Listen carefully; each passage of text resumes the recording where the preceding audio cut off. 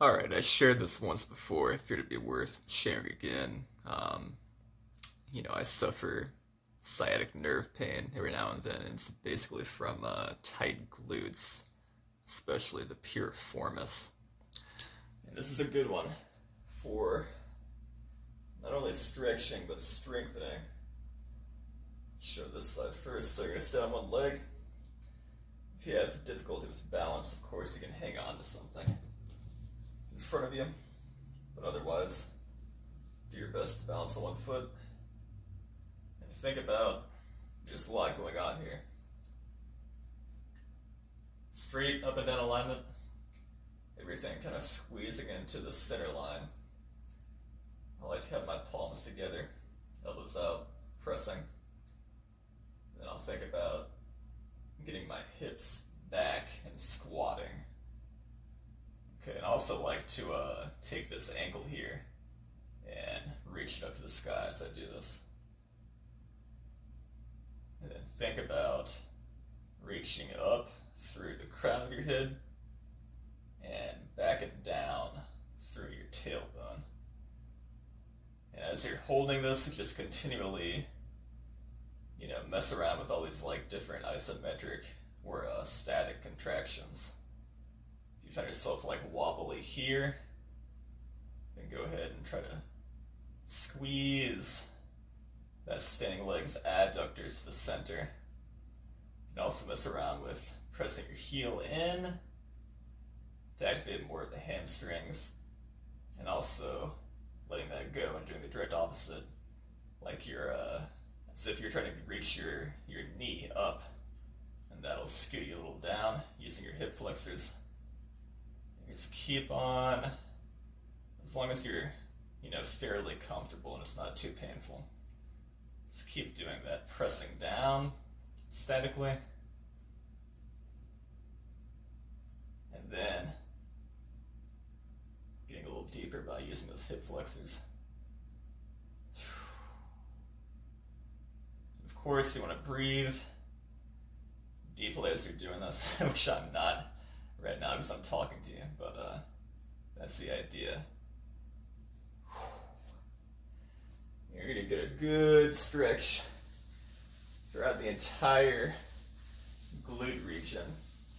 I can feel that up to my knee of that uh, other leg. Alright, I'll show it this way too. Again, balance on one leg, cross it over. Everything in alignment, nice and tall. And you want to hinge your hips back and squat. Nice and slow to maintain good balance and muscle control. Think about that crown of the head going up, tailbone going down back, keeping a straight spinal alignment. And again, if you get wobbly, try to contract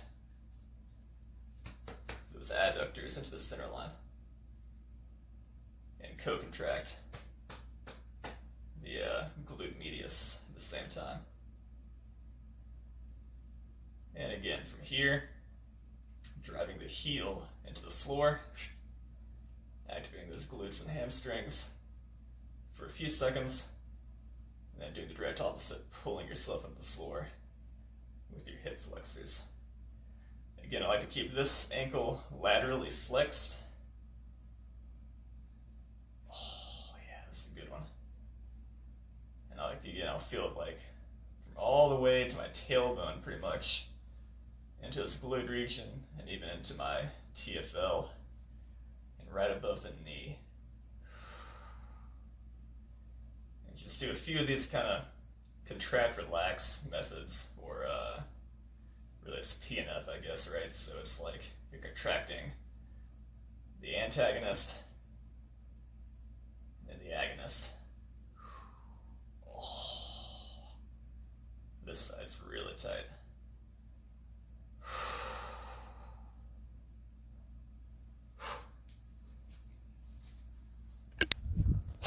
So that's pretty much it.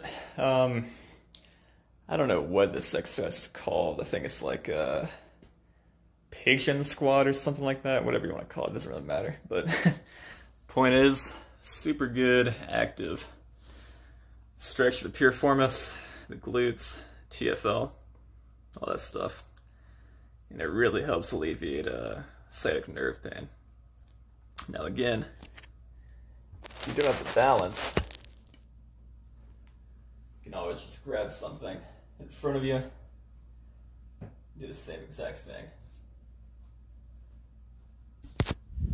But try to work toward doing a free balancing because then you'll have to, uh, that'll force you to maintain alignment with using your muscle control and not just some, you know, object or whatever that'll help you push into with uh, poor posture.